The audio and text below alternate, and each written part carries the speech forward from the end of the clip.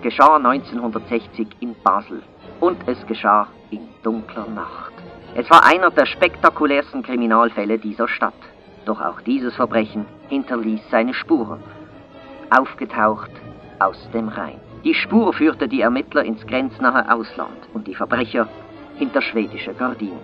Werden Sie Zeuge dieses aufsehenerregenden Falls Basler Kriminalgeschichte in der Sonderausstellung aufgetaucht im Historischen Museum Basel in der Barfüßerkirche. Und für Sie live inszeniert am Freitag, den 19. Januar 2018 während der Basler Museumsnacht. Jeweils 19, 21, 22 und 23 Uhr im Kirchenschiff.